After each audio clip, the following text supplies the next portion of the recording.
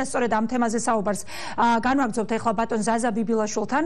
შემოგვერთდება იგი პირდაპირ ეთერში ანალიტიკოსი ჭავჭავაძის ცენტრის დამფუძნებელი. ბატონ ზაზა საღამომშვიდობისა მადლობა რომ უპასუხებთ ჩვენს შეკითხვებს. საღამომშვიდობის ბატონ ზაზა, თქვენთვის რამდენად მოგესალმებით. მადლობა თქვენ. თქვენთვის რამდენად საინტერესოა ის გუნდი, რაც პოლიტიკურმა ერთობამ წარადგინა, რამდენად შეძლებს ოპოზიციური ერთობა პოზიტიურ თანამშრომლობას და საერთო გადაწყვეტილებების მიღებას, ვინაიდან კოალიციური მართლობის გამოცდილება ქვეყანას აქვს. დამოუკიდებელი საქართველოს ისტორიაში, მაგალითად ვარდების რევოლუციის შემდეგ, მაგალითად 2012 წლის კოალიციური მართლობის მასში როდესაც დაიწყო ეს ყველაფერი. აა როგორია თქვენი განწყობა? აა ცოტა ხნის წინ არ ქონდათ მოლოდინი პოლიტიკოსებსაც კი რომ აი ესეთი საერთო შეთანხმებული გადაწყვეტილება ოპოზიციიდან გამოვიდოდა. მართლაც საინტერესო იყო ის რაც გუშინ ვიხილეთ. მართლაც არის ერთგვარი წინ გადადგმული ნაბიჯი ამ ვითარებაში. ვინაიდან ძალიან ცოტა ადამიანი ელოდა უკვე ბოლო ერთ წლის განმავლობაში რომ ოპოზიციაში შედგებოდა. ოპოზიციას ჰქონდა იმისი უნარი რომ ერთმანეთთან ელაპარაკა გამოენახა საერთო ენა ამას ჰქონდა თავისი ობიექტური და სუბიექტური მიზეზები ცხადია და ეს იყო ერთი მხრივ იმ скеპტიციზმის იმ скеპსისის მიზეზი რომელიც დასავლეთს რადასალმალია და ჰქონდა ოპოზიციის მიმართ ერთ-ერთი მიზეზი. ეხლა ეს მიზეზი როგორც მინიმუმ აღმოფხრილია ოპოზიციამ დაანახა თავისი ერთი მხრივ უნარი რომ დამჯდარიყო საერთო მაგიდასთან შეთანხმებულიყო საერთო დღის წესრიგზე და პოზიტიური ასე ვთქვათ, პოზიტიურ ჭრილში და რელსებზე გადაეყვანა თავისი კამპანია, რაც ძალიან დიდი განსხვავება იმ კამპანიისგან, რომელსაც აწარმოებს ეგრეთ წოდებული ქართული ოცნება, რომელიც არის მხოლოდ ზიზღი, მხოლოდ ლანძღვა, მხოლოდ აი საოცარი დაუჯერებელი ტყუილები და ნუ მთლიანად რადიკალიზაცია და პოლარიზაცია პროცესის. შესაბამისად ეს რა თქმა უნდა კარგი იყო, მე გეთანხმებით იმაში, რომ საქართველოს დიახ, დიახ, ისმის თქვენი ხმა. ჩემი ხმა მესმის ეკო და თუ შეიძლება რომ გაასწორებინოთ. კი ბატონო. აა გეთანხმებით იმაში რომ საქართველოს თანამედროვე ისტორიაში ჩვენ კოალიციური მართლობის გამოცდილება გვაქვს, ასე მოვიდა ხელისუფლებაში მრგვალი მაგი და ასე მოვიდა ხელისუფლებაში თავის დროზე ვარდების რევოლუციის შედეგად მოსული ხელისუფლება ბიძინა ივანიშვილი, რომელსაც გარშემო 6 პარტიის კოალიცია ჰქონდა გაერთიანებული, თუმცა ეს კოალიციები დიდხანს ვეძლებს, ნუ გამონაკლისი იყო მრგვალი მაგი და რომელიც უბრალოდ ხიშტებით და ზარბაზნებით გააგდეს და დაამხეს ხელისუფლებიდან დანარჩენი ხელის და დანარჩენი კოალიციები იშლებოდა ვინაიდან მათ შორის. რეალურად ერთი გამაერთიანებელი მიზანიც ხომ მოკლევადიანი სტრატეგია პრინციპში ამ კოალიციების და ეხლაც გაცხადებულია რომ თავარი მიზანი არის ახლა საერთო გამარჯვება და შემდეგ ყველა პარტია უკვე თავისი მიზნის შესაბამისად იმოქმედებს. და იმ გამოცდილების ფონზე რაზეც თქვენ ბრძანებდით განსაკუთრებით საინტერესოა რამდენად შეინარჩუნებენ ისინი პოზიტიურ თანამშრომლობას ამ კონტექსტში უფრო მაინტერესებს ინტერესებდა კი ბატონო კი ბატონო, ანუ რამდენად შეინარჩუნებენ ეს ძნელი სათქმელია, ძალიან რთული იქნება, ვინაიდან გუშინაც ხაზი ესმებოდა იმას, რომ ამ პარტიებს შორის ძალიან დიდი განსხვავებებია, უაღრესად დიდი განსხვავებებია. შორს რომ არ წავიდეთ, მაგალითად, ერთი პარტია ქალაქ გეგმარებას და რაღაც ზე რეგულაციას ემხრობა, მეორე პარტია საერთოდ არანაირ რეგულაციას არ ემხრობა და არ ცნობს. ანუ ცხადია, ასეთ პარტიებს შორის თანამშრომლობა ძალიან რთული იქნება, თუმცა ვიმეორებ და თქვენ ეს უკვე აღნიშნეთ, მიზანი არ არის ხა მაინდა-მაინც ის ის კონკრეტული დეტალები, რომელზეც ჩვეულებრივ ცივილიზებულ ქვეყანაში შეიძლება ჩვენ საუბრობდეთ, არამედ მიზანი არის იმ რაღაც გველეშაპის ქვეყნიდან მოშორება, ყოველ შემთხვევაში რაღაც ნაბიჯის გადადგმა, რომელიც დაპატრონებია ჩვენ სახელმწიფოს, რომელიც აკონტროლებს ყველა მუნიციპალიტეტს, ყველა სასამართლოს, სუს, პროკურატურას, ბიზნესს და ასე შემდეგ. ხო, ეს არის მიზანი და ამ მიმართულებით ახლა მიუხედავად იმისა, რომ ბევრი კრიტიკული შენიშვნაც გამოითქვა გუშინდელთან დაკავშირებით, ხო? მთლიანობაში საზოგადოებაში ოპოზიციური განწყობილ საზოგადოებაში იყო ძალიან დიდი ეიფორიული რეაქციაც კი მე ვიტყოდი და ეს ცხადია აისახება ეს განწყობა აისახება არჩევნების მეორე ტურზე მაგრამ მხოლოდ ეს განწყობა არ არის საკმარისი.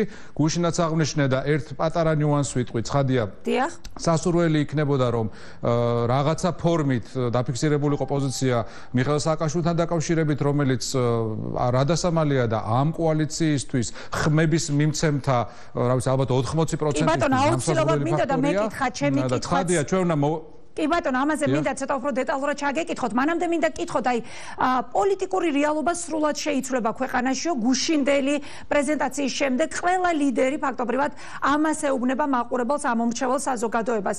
უფრო დეტალურად რომ ავხსნათ, აი რა მოლოდინი უნდა კონდეს ხალხს რეალურად, რას შეცვლის კოალიციური მართლობა, უფრო მეტი ბონუსი რომ დავანახოთ იმ აუდიტორიას, ბატონ ზაზა, ვისაც არ აქვს ჯერ კიდევ გადაწყვეტილი ხმა მისცეს იმ კონკრეტულ კანდიდატს, რომელიც არ არის არის მისი ფავორიტი პარტიის წარმომადგენელი, მაგრამ პარტიები არიან საერთო კანდიდატებზე შეთანხმებული და მეორე ტურებიც არის ორ ორ კანდიდატს შორის არჩევანი, ხო? ამიტომ თუ შეიძლება აი თავარი ბონუსი რა იქნება, რომ საზოგადოებამ დაინახოს რითი არის განსხვავებული გარდა იმ გამოწვევებისა, რაზეც თქვენი საუბრეთ ახლა კოალიციური მართლობის პირობებში, რითი არის მომხიბლავი, რითი არის საქართველოს მომავლისთვის ეს კარგი? ზოგადად ჩვენ ქვეყანაში პოლიტიკურ ნიჰილიზმს ასარდოებს ის ფაქტი, რომ ადამიანებს არ აქვთ პოლიტიკურ პროცესებში და დემოკრატიულ პროცესებში თუ ასეთი კიდევ შერჩა ამ ქვეყანაში მონაწილეობის განცდა. ამას ბევრი მიზეზი აქვს, მათ შორის შიდა პარტიული დემოკრატიის არარსებობა, მათ შორის ის რომ ქვეყანაში ყავს ოლიგარქი, რომელიც პრაქტიკულად ყველაფერს წყვეტს თავისი ოჯახის წევრებთან ერთად და აი ამ კოალიციურმა განაცხადმა შექმნა იმისი მოლოდინი, რომ შეიძლება ყველას ინტერესი იქნას გათვალისწინებული, ლეგიტიმურად გათვალისწინებული, არა რაღაც ვაჭრობის ფორმით, არამედ იმ ფორმით, რომ დავუშვათ ყველა კულტურული სეგმენტი, სოციალური სეგმენტი, იქნება ეს გეოგრაფიული სეგმენტი თუ აი სხვადასხვა ფენა მოსახლეობის თავის თავს დაინახავს ამ ხელისუფლებაში. და ეს იქნება ყოველ შემთხვევაში უნდა იყოს ის დამატებითი სტიმული, რომელიც მეტ ხალხს გამოიყვანს არჩევნების მეორე ტურზე. ვინაიდან ამის გარეშე ვიყოთ ასევე რეალისტები, ძალიან რთული იქნება მეორე ტურებში გამარჯვება. ეხლა თბილისის მაგალითზე რო ვთქვათ, აა კალაძეს სჭირდება სადღაც დამატებით 6%-ის აღება ხდება, თუ იგივე რაოდენობის ხალხი მივა და მას ეს იმ შემთხვევაში თუ დამატებითი ამრჩეველი არ მივა საარჩევნო ყუთებთან ბევრად უფრო გავადვილდება ვიდრე ოპოზიციის კანდიდატს, რომელსაც დამატებით 17%-ის აღება ჭირდება, ხო?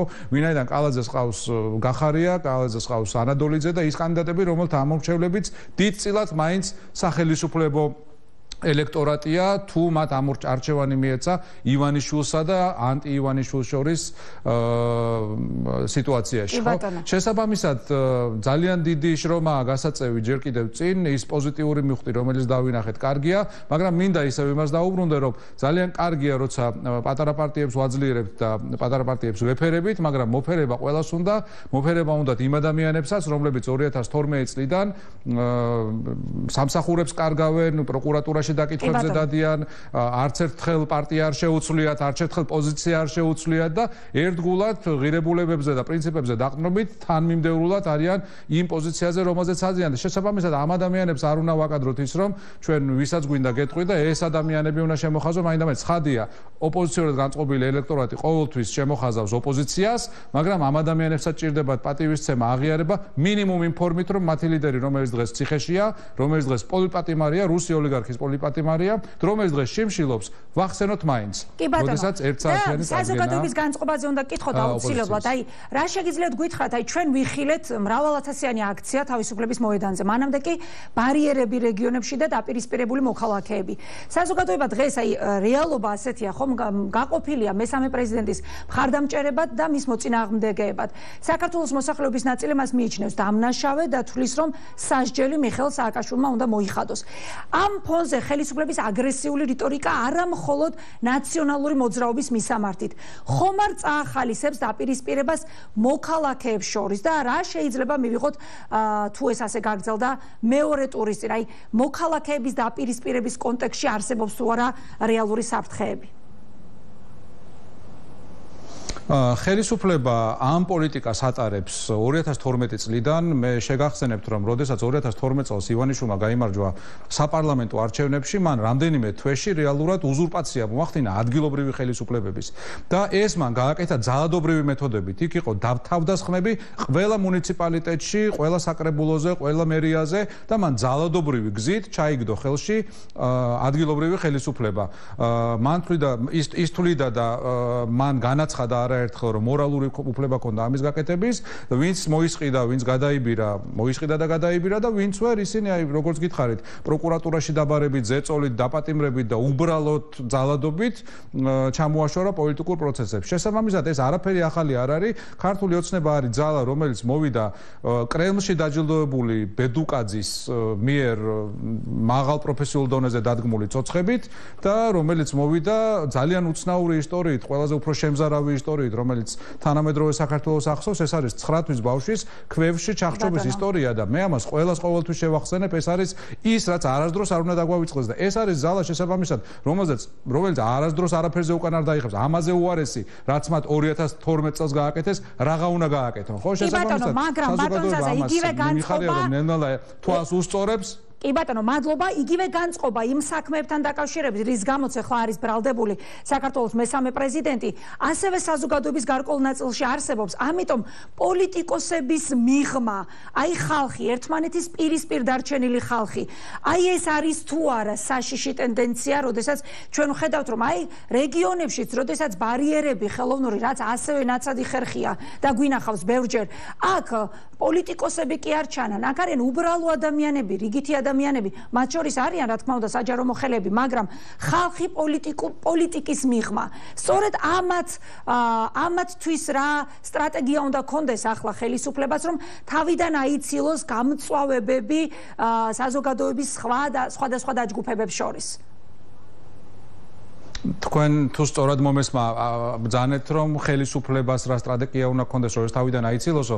სამწუხაროდ პრევენციული რა შეიძლება გააკეთოს მაგრამ თუ ეს თავიდან აიცილოს არათუ ეს აიცილოს, არამედ ხელისუფლება არის ამ ყველაფრის უკან.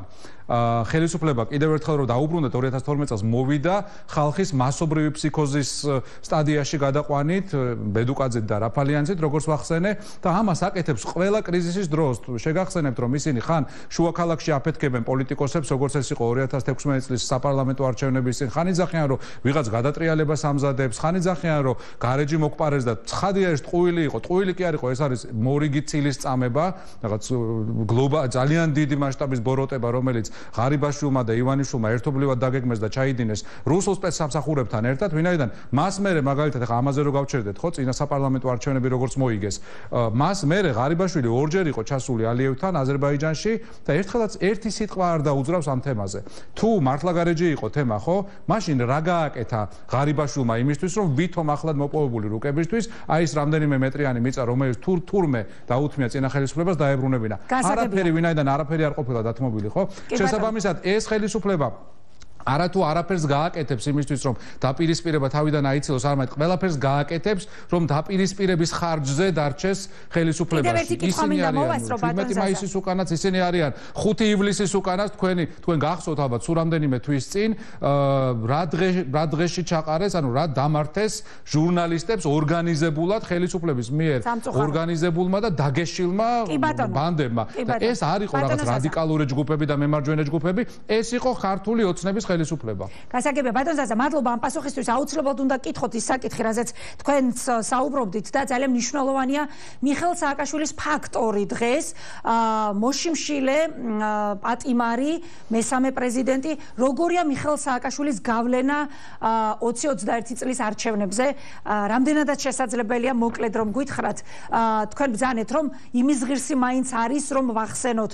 ანუ თვითონ ოპოზიციაში დეფიციტია დღეს მიხელ სააკაშვილის ის წვლილის აღიარების ამაზე ხმამაღლა საუბრის თუ თუ შეიძლება არასწორად გავიგე და გისმენთ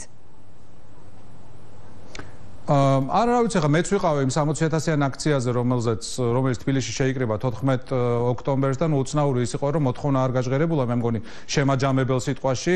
ისე დაიშალა ამ ამ ხელა აქცია რომ არავის აი ესე პირდაპირ არ მოუწოდებია რომ გათავისუფლებულ იქნას საქართველოს მესამე პრეზიდენტი პატიმრობიდან როგორც პოლიტპატიმარი როგორც რუსი ოლიგარქის პირადი პატიმარი ხო?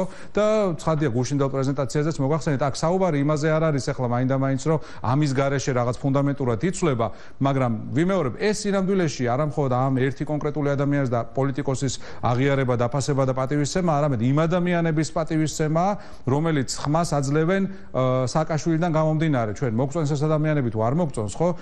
ოპოზიციის ხმების სავარაუდოდ 80% უხეში შეფასებით არის ამ ადამიანებისა. პროცენტებიც რო დავთვალოთ და შევადაროთ, ასეა.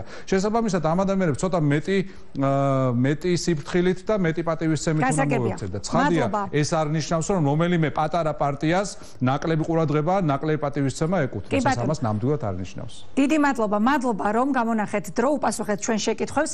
მადლობა, ვემშვიდობებით ჩვენ სტუმარს ზაზა ბიბილაშვილი გვერდებოდა. მადლობა თქვენ საღამომშვიდობისა. მადლობა.